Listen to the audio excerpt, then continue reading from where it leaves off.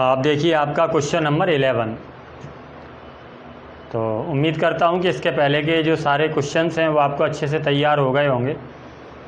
चलिए अब देखिए आपका क्वेश्चन नंबर इलेवन पहले क्वेश्चन को समझिए क्वेश्चन क्या कह रहा है?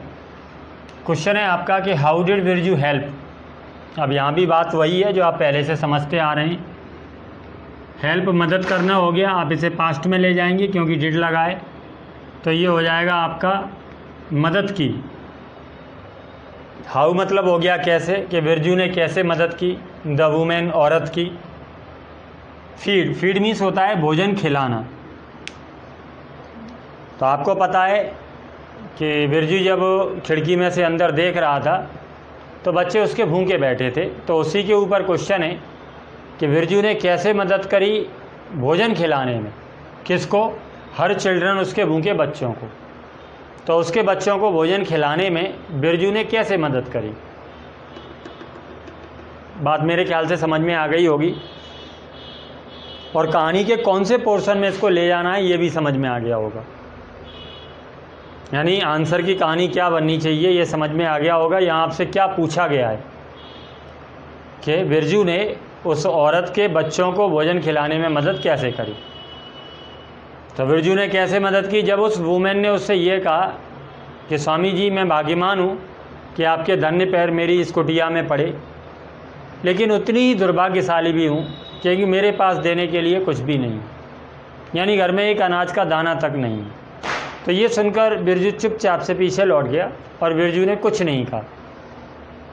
बिरजू समझ गया कि ये जो बच्चे हैं, वो इसलिए ये सब कुछ कर रही है क्योंकि इसके पास खिलाने के लिए कुछ भी नहीं। तो इसके बाद बिरजू जाता है। तो जो गाँव था, उस गाँव में जो पतली गलियाँ थी, उनमें घूमता है। और चूँकि वो पहले से चोर रहा था तो उसने बड़ी आसानी से समझ लिया कि ये कोई पसारी की दुकान है और जाकर के उसका ताला तोड़ देता है। और वहाँ सर, वहाँ से खाने पीने की जो दो, सामान की जो दो बोरियाँ थी, वो ला करके उस औरत को दे देता है। और क्या देता है कि ये जो सामान है, इससे तुम तीन महीने तक बड़े आराम से अपने बच्चों को भोजन खिला सकती हो। तो ये इसके आंसर की कहानी है जो आपको अपने शब्दों में लिखनी है। अब देखिए, यहाँ पहले आंसर के वर्ड मीनिंग क्या है कि he broke the big lock तो बिरजू ने भोजन खिलाने के लिए क्या किया कि ही ब्रॉक उसने तोड़ा।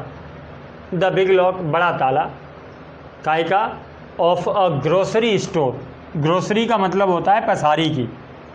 और स्टोर का मतलब दुकान स्टोर रूम तो पसारी की एक जो दुकान थी उसका एक जो बड़ा ताला बाहर लगा हुआ था, उसने उसको तोड़ा एंड फिल्ड और न केवल तोड़ा, बल्कि अंदर जा कर के भरा। क्या टू सेक्स दो बोरे। चाहे आप इन्हें सेक्स का मतलब आप कह सकते हैं कि जो बिग बैग कह सकते हैं लार्ज बैग कह सकते हैं। ठीक है? और उसने दो बोरे भर लिए काय से? विद प्रोविज़न प्रोविज़न मतलब होता है खाने पीने का सामान। तो बिरजू ने क्या काम किया? आपको यहाँ एक एक करके वो लिखना है कि पहले तो बिरजू ने क्या किया? ब्रॉक तोड़ा। तोड़ करके अंदर पहुँच गया। उसके बाद अंदर जा कर के क्या किया? फ़ील्ड भरा। टू सेट्स विद प्रोविज़न और अंदर जा कर के दो बड़े बड़े बोरे उसने भर लिए इस सामान से विच जिन को, यानी इन दोनों बोरों को तो उसके लिए लगाया जिन को। ही गेव उसने दे दिया टू द वुमेन उस औरत को। तो किस तरीके से उसके भूखे बच्चों को भोजन खिलाने में मदद करी? तो यहाँ आपको केवल दो बातें याद रखनी है कि एक तो उसने एक बड़ी सी दुकान का ताला तोड़ा तो ही ब्रॉक उसने तोड़ा, पास्ट में ले जाएँगे तो ब्रेक का सेकंड फॉर्म क्या हो जाएगा? ब्रॉक। कि he broke the big lock, कि उसने बड़ा ताला तोड़ा, काय का ताला था ये? एक पसारी की दुकान का। तो he broke the big lock of a grocery store, यहाँ तक लिख देंगे। और उसमें से अंदर से क्या भर लिया? दो बड़े बोरे भर लिए। And filled two sacks and filled और भर लिया। टू सेक्स दो बोरों को काय से विद प्रोविजंस खाने पीने के सामान से। और ये जो सामान था, ये जो बोरे थे, वो उसने दे दिए कि विच जिन को ही गेव उसने दिया। किसको दिया? टू द वुमेन उस औरत को। तो बहुत इजी आंसर है। अगर आप सोच कर सोच करके अगर आप लिखते हैं तो आंसर में कुछ ऐसा नहीं है। कि आपको लर्न करने की ज़रूरत पड़े। आप सोचकर बड़े आराम से लिख सकते हैं कि बिरजू ने किस तरीके से मदद करी। कि बिरजू ने एक बड़ा ताला तोड़ा, तोड़ना आपको पता ही है सेकंड फॉर्म करनी है पास्ट में ले जाना है। कि Birju broke the big lock lock का था तो ये क्लियर है कि वो चूँकि उनकी भूखे भूखे बच्चों की मदद करना चाह रहा था तो ये बात क्लियर है कि वो खाने पीने के सामान की दुकान को ही तोड़ेगा। तो he broke the big lock of a grocery store तो यहाँ तक कॉमन सेंस से आप लिख सकते हैं। और अंदर जाएगा तो सामान से भर कर के पैकेट लेके आएगा। तो यहाँ उसको कह दिया and filled with two sacks and filled two sacks वो भी काय से भर लिए? विद प्रोविजंस खाने पीने के सामान से। और इनको उनसे उसने दे दिया उस औरत को। तो विच जिनको ही गेव उसने दिया। तो यहाँ भी गिव का सेकंड कर दिया गेव।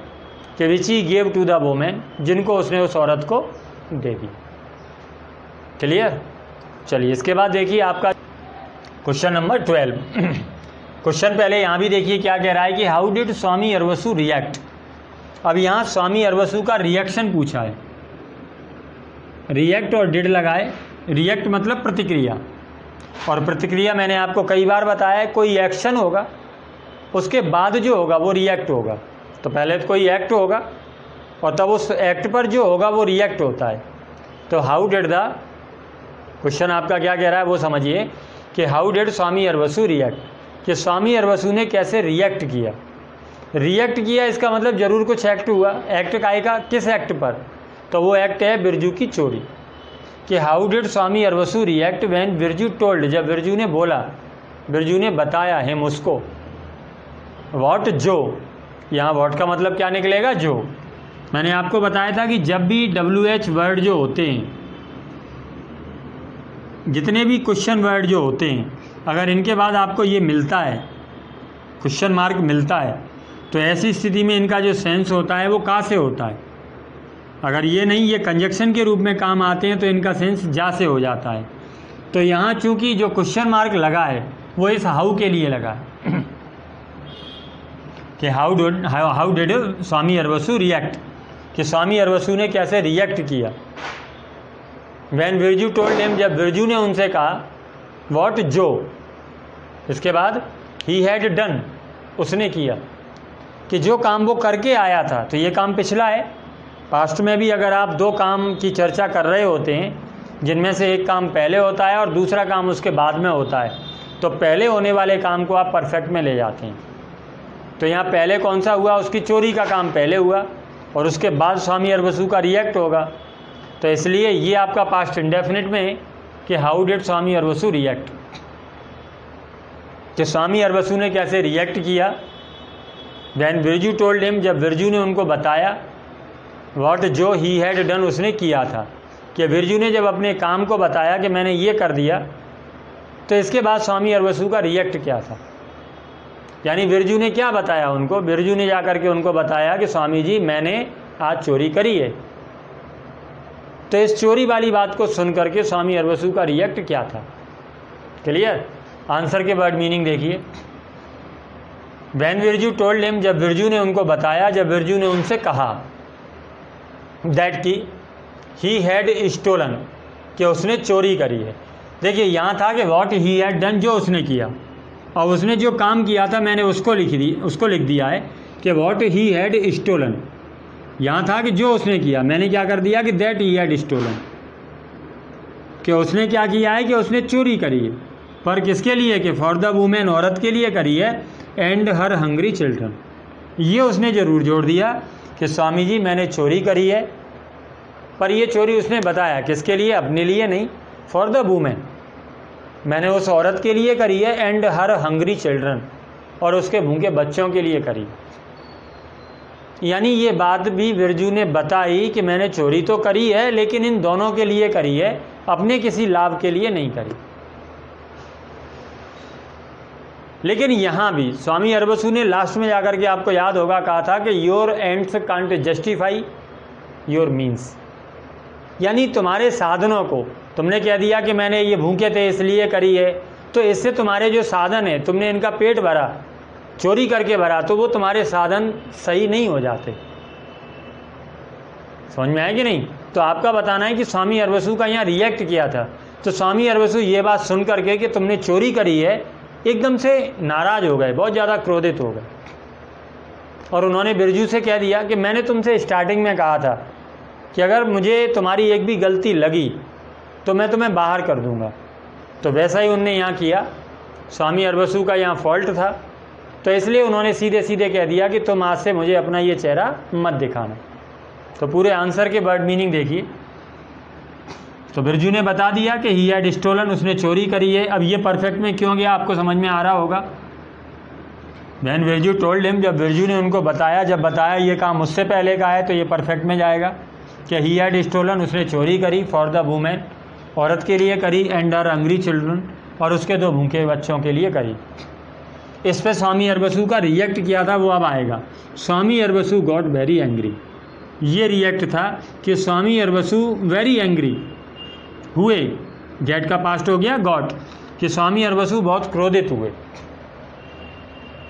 एंड और आस्क्ड हिम और उससे कहा तो Swami Aravasu got very angry कि स्वामी अरबसू बहुत क्रोधित हुए एंड आस्क्ड हिम और उससे कहा, क्या कहा? कि टू गो अबे, चले जाओ। स्वामी अरबसू ने तुरंत कहा, पहले तो वो गॉड वेरी एंग्री कि वो बहुत क्रोधित हुए एंड आस्क्ड और बोले टू गो अबे, चले जाओ। सामने मत ठहरो। एंड गो अवे और चले जाने के लिए कहा एंड नेवर शो और कभी मत दिखाना। कभी न दिखाने के लिए कहा हिज सिंफुल फेस उसका पापी चेहरा। सिन पाप होता है सिनफुल पाप से भरा हुआ मतलब पापी।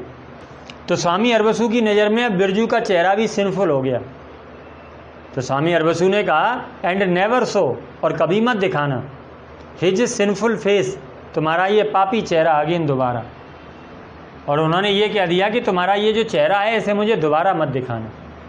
अब यहाँ आपको जो मेन बात है, वो पकड़नी है। पहले तो क्वेश्चन से कितना लिखना है, वो आपको समझ में आ गया होगा। क्वेश्चन आपका क्या था कि how did Swami Aravasu react कि स्वामी अरवसु ने कैसे रिएक्ट किया? ठीक? वैन बिरजू टोल्ड हिम जब बिरजू ने उनको बताया वॉट ही हैड डन जो उसने किया था तो आप क्या देंगे कि वैन बिरजू टोल्ड हिम जब बिरजू ने उनको बताया वॉट ही हैड डन जो उसने किया था, ये सुन करके Swami Aravasu got very angry Swami Aravasu बहुत क्रोधित हो गए। ठीक? अब यहाँ आपको लग रहा होगा कि यहाँ तो कुछ और लिखा है। तो जो काम वॉट हैड डन जो उसने किया था, चाहे तो आप ये लिख दें और चाहे वो काम ही लिख दें, जो उसने किया। या आप ये भी लिख सकते हैं दैट ही हैड स्टोलन यही तो उसने किया था तो वो भी लिख सकते हैं। दैट ही हैड स्टोलन कि उसने चोरी करी है। ये अच्छी बात है, अगर आप ये भी लिख देते हैं तो और अच्छा है, बिल्कुल क्लियर हो जाता है। तो आप क्या कहेंगे सीधे सीधे कि वैन विरजू टोल्ड हिम कि जब विरजू ने उनको बताया दैट ही हैड स्टोलन कि उसने चोरी करी है। चोरी किसके लिए करी है? तो फॉर अ वूमेन एक औरत के लिए करी है। एंड उसके दो भूखे बच्चों के लिए एंड हर हंगरी चिल्ड्रन ये उसने बेचारे ने बता दिया स्वामी अरबसू को कि मैंने चोरी करी है, इनके लिए करी है। अब इस पर स्वामी अरबसू का रिएक्ट किया था, वो आप कॉमा लगा करके लिख देंगे।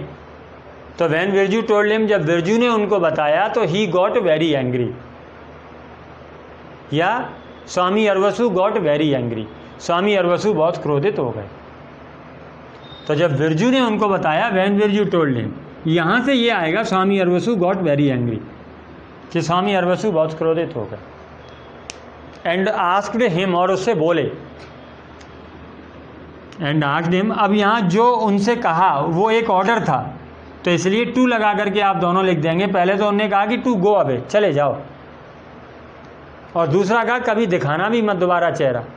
तो पहले उन्होंने कहा कि टू, गो अवे, चले जाओ एंड नेवर शो और कभी मत दिखाना।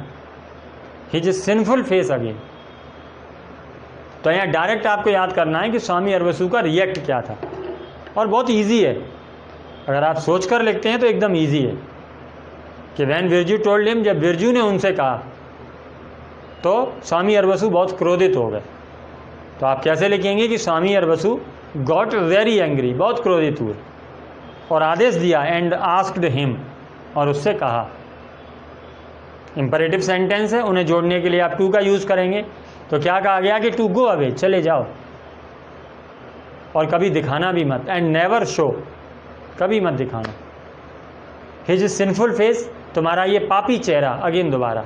तो चले जाओ और अपना ये पापी चेहरा कभी दोबारा मत दिखाना मेरे ख्याल से आंसर आपको ठीक से लर्न हो गया होगा कि वैन विरजू टोल्ड हिम जब विरजू ने उनसे कहा, अब जो विरजू ने कहा कि वॉट ई एड डन ये क्वेश्चन में था तो ये जो बात है कि वॉट ई एड डन जो उसने किया था तो आप चाहे तो ये लिख दें, चाहे वो काम ही लिख दें। तो काम यहाँ क्या हो गया? काम ये था कि दैट ही हैड स्टोलन अगर आप काम लिखेंगे तो ऐसी स्थिति में आपको दैट लगाना। कि वैन विरजू टोल्ड हिम जब विरजू ने उससे कहा दैट ही हैड स्टोलन कि उसने चोरी करी है। पर चोरी किसके लिए करी है, ये भी उसने बताया।